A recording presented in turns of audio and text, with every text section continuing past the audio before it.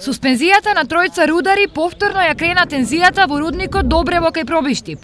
Образложението за суспензија тие веќе го добиле, но тврдат не е како што пишува. На 4 март ме обвинува дека не сум бил на работа, кога прв пат застана за штрајк, бев трета смена, сите останаа надвор да штрајкуваат во купатило таму се собраа, Јас паднав одма со мој колега во јамската просторија да пумпам вода да не се поплои рудникот. А он ми наведува дека јас не сум бил на работа. Поголемо мачење на рударо нема од ово сега што е ни во Турско не е било вака. Освен за Цветковски, суспензија има и за заменикот председател на рударскиот синдикат. Тука е наведено дека за мене сум направил голема штета на фирмата. Нема врска, ништо не, тоа не е точно.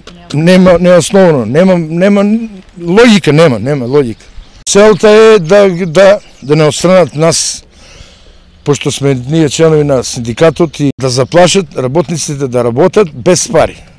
Кој е ставот на останатите рудари за новиот момент? Целосно подрска имаме од сите колеги а, во Рудник Злетово и дури две-три смени сега застана, ние кажавме да одат на работа, да не испадне дека ние ги зорле тераме на штрек.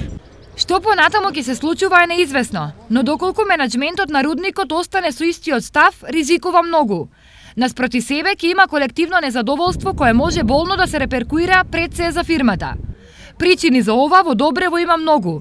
Најсвежа е една од нив е вчерашната – Имено речиси 4 милиони евра чинеле консултациите на сопружниците Црвенковски од 2007 до 2013 година, кога беа главни во менеджерскиот тим на Индоминерали и Метали.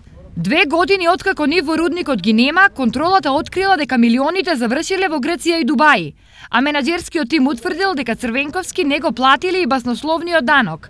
Цели 250.000 евра и 470.000 долари. Според ова произлегува дека брачниот пар Црвенковски во тој период имал месечна плата од околу 55.000 евра. Сумите ке повторам се далеку, многу, многу далеку од вистина, да не речам сосема неосновани.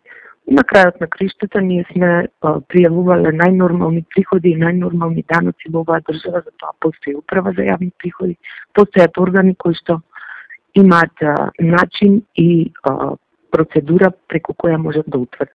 Без оглед на ова објаснување во јавност, веќе пуштената информација за баснословната сума на менеджерите од вчера ја крева косата на пробиштипјани. А лавнека не. И на директорите, и на менеджерите, а грево, гревота е за, за работниците.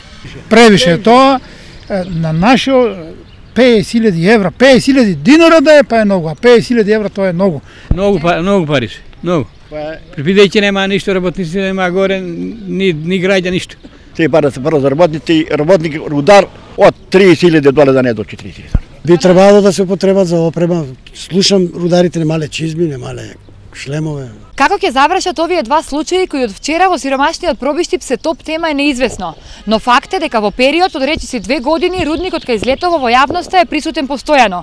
Во секој случај не подобри работи.